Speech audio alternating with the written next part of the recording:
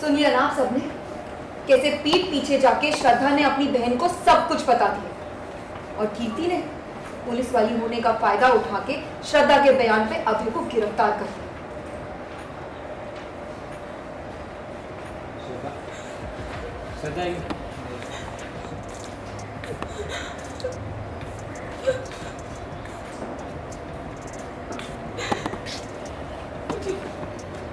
मुझे माफ़ कर दीजिए मैं मैं चाहकर भी अभय को नहीं बचा पाई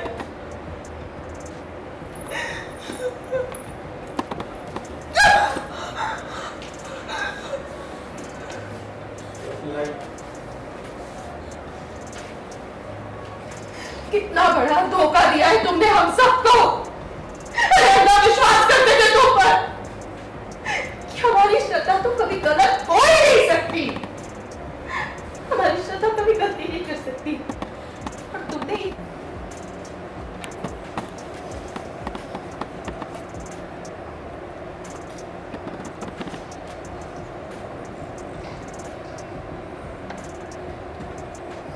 कंटिन्यू ये ये ऑडियो यहाँ कैसे? सवाल हम नहीं सवाल तुम नहीं हम करेंगे।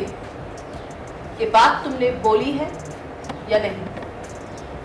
लेकिन बुआ जी ये बात तुमने बोली है या नहीं? बुआ जी मेरी बात समझने की कोशिश जो सवाल तुमसे किया जा रहा है उसका जवाब दो। हाँ या ना?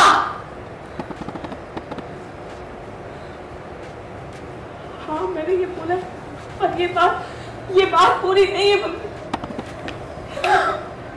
वाले the action hold the action Kani ये ये रोशनी जानबूझकर मेरी और कीर्ति की अधूरी बात सुनकर आप सबको भड़का रही है। आप सब जानते हैं ना मैं अभय के लिए ऐसा कभी सोच भी नहीं सकती दस साल से मैं अभय के साथ हूँ मैंने कभी उनका साथ नहीं छोड़ा तो तो मैं ऐसा कैसे कर सकती हूँ? बस श्रद्धा बस करो। हर बार ज़रूरी नहीं है कि कोई तीसरा बीच में आकर बैठ गया हो दुश्मन बन के। बात चाहे अधूरी हो या पूरी सच ये है कि तुमने कीर्ति के सामने पुलिस के सामने ये बात बोली है। आखिर आपने साबित कर ही दिया ना भाभी कि आपके लिए अभय भैया से ऊपर आपकी बहन है। फिर तो बहुत अच्छा कि अभय भैया की ज़िंदगी में आप नहीं रोशनी है। मैंने तुम पर हाथ रख करके भरोसा किया। और तुमने उस भरोसे का ये सिला दिया? तुमने तुमने हमेशा अपनी बहन को उसके परिवार को हम सबसे ऊपर रखा। और उसका नतीजा तुम देख लो। हमारा बेटा कुर्बान हो रहा है। तनुजा अब बार बार हमारे बेटे पे उंगली क्यों उठा रही है सारे सबूत अभय के खिलाफ है और अभय ने खुद अपना गुनाह कबूल किया है क्योंकि आपकी बहू हमारे बेटे को फंसाना चाह रही है ताकि वो आपके लाडले को बचा सके हम जानते उसी ने वो सारे सबूत वहाँ जाके सजा दिए होंगे मेरे और अभय के प्यार ने तुम्हारे दिल को इतना कड़वा कर दिया कि तुमने उसे मुझसे दूर कर दिया?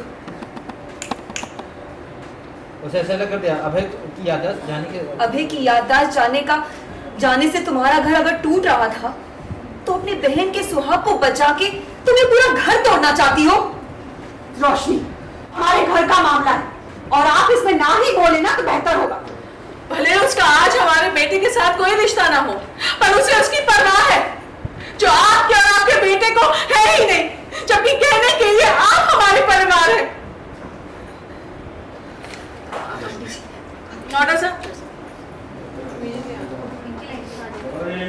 रोशनी बाद फिर रितुआ बोली फिर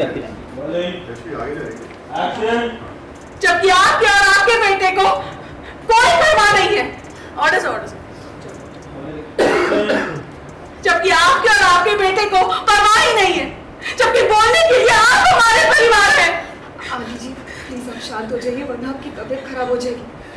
मैं तो जानती हूँ इस वक्त आप अभय के लिए बहुत परेशान हैं। और ऐसे माहौल इसे एक मौके की तरह देखकर चाहे को इसका फ़ायदा ही क्यों ना उठा ले?